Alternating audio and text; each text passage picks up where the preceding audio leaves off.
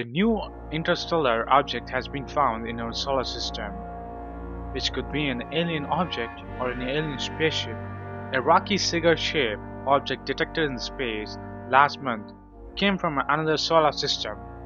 Astronomers said on November 20th of 2017 as they confirmed an unprecedented observations. The discovery may provide clues as to how other solar systems are formed, says the researchers, who published their study in the British journal Nature. The asteroid named Oumuamua by its discoverers is one quarter mile or 400 meters long and highly elongated perhaps 10 times as long as it is wide. The asteroid was detected by the telescope in Hawaii. The Oumuamua means messengers in Hawaiian. That odd shape is unprecedented among the 7,50,000 asteroids and comets observed in our solar system where they are formed, said the researchers. They concluded that the cigar-shaped thing is from another solar system. Due to data on its orbit, these objects enter our solar system once in a year but they are hard to trace and had not been detected until now, thanks to the strongest telescopes.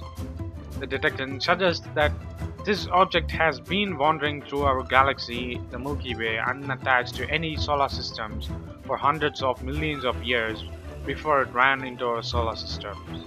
For decades, we have theorized that such interstellar objects are out there, and now, for the first time, we have the direct evidence that they exist said Thomas Zurbuchen, the Associate Administrator of NASA's Science Mission Directorate in Washington, D.C.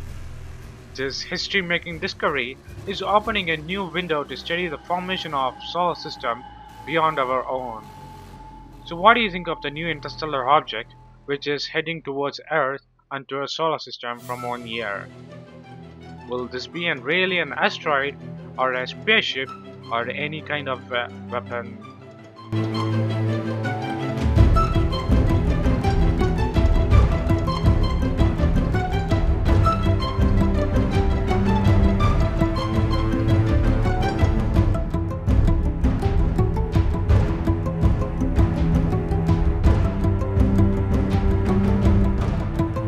it was a special day when this object was first uh, discovered. Uh, we have been waiting for the discovery of an interstellar object for decades, basically. Oh, when I first heard about this interstellar object, it was very exciting just from a scientific point of view that finally there's uh, been an actual observation of such an object. This object is simply a piece of another solar system that was expelled and it has been traveling through interstellar space for hundreds of millions of years, billions of years, we don't know. Number of our uh, survey projects and other observatories uh, immediately turned their telescopes to take observations of this object.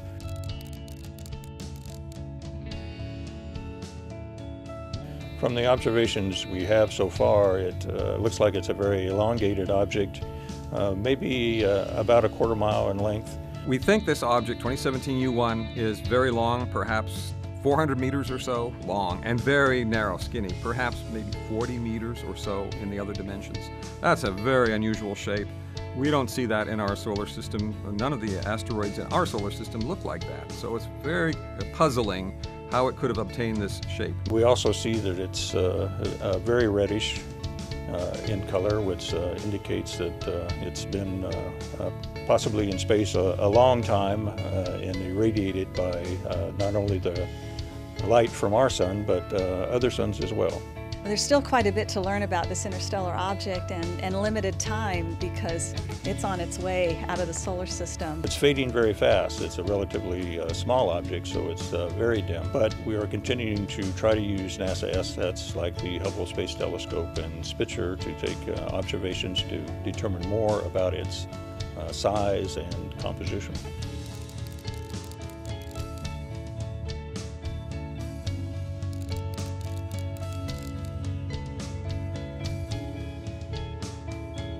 NASA's Planetary Defense Coordination Office has a near Earth object observations program which funds efforts that survey the skies to look for near Earth asteroids and to calculate their orbits and their trajectories and to determine if any of them might pose a hazard to Earth. And as part of doing that, some amazing discoveries can happen, and the discovery of this interstellar object was one of them. As our observational capabilities improve, Pan-STARRS has been getting better, other surveys have been getting better. There are a new generation surveys that will come online. We will be detecting more of these in the future.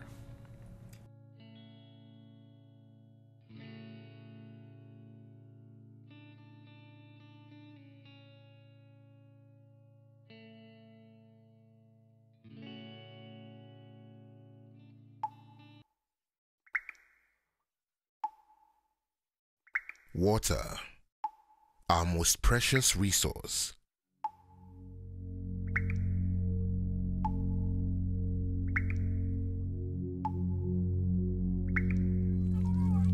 Together, we have established some vital goals. But what is a goal if not a promise? And what is our promise worth if not delivered?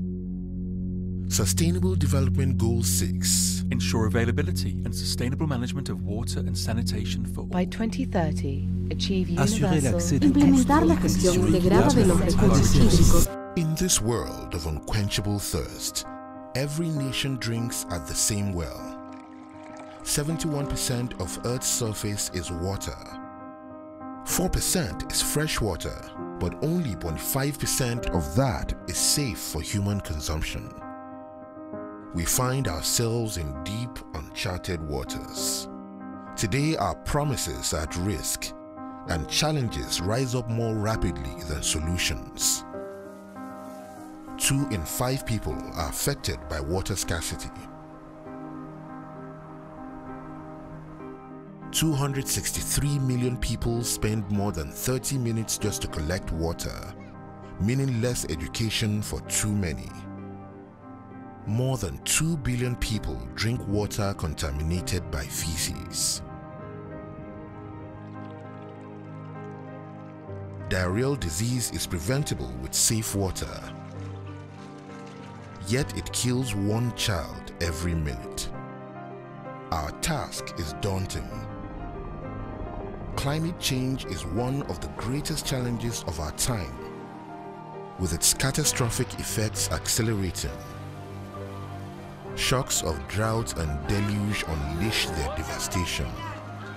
While population growth increases demand for water, food, and energy, rivers dry up and no longer reach the sea. Ours has become a defining moment in human history. Water has forced itself to center stage. It demands that we change fundamentally. It asks that we value it profoundly. The world is waiting for leadership. We must keep our promise. Do you value water?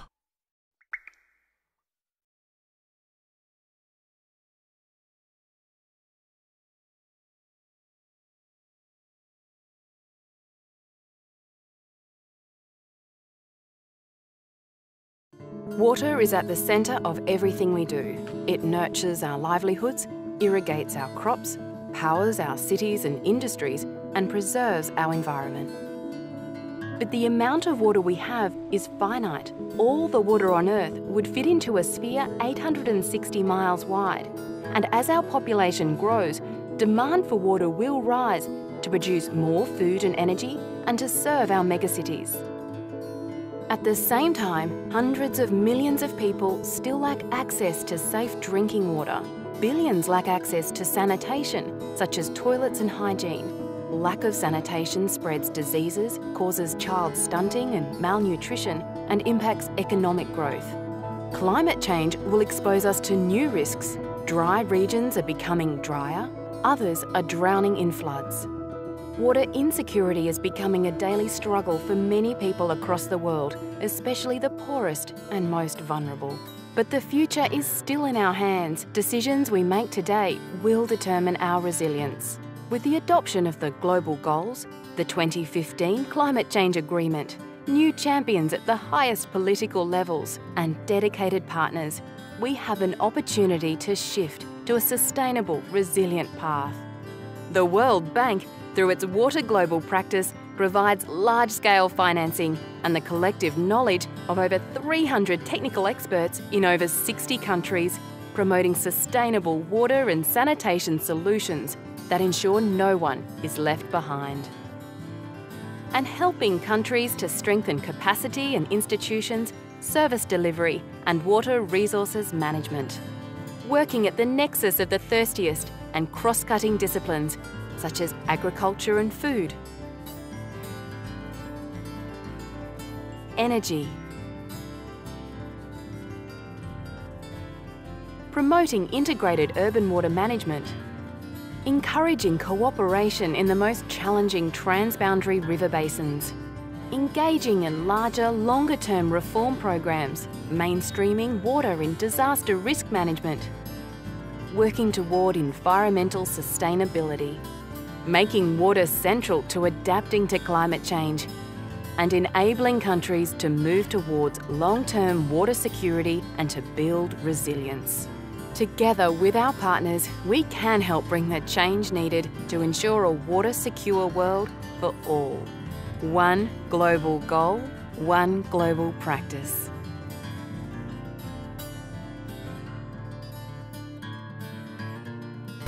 Post your comments below. And if you like this video, please give a thumbs up and follow us on social networks and subscribe to our channel. And thanks for watching. This is WC Daily. Think big, think different. Bye.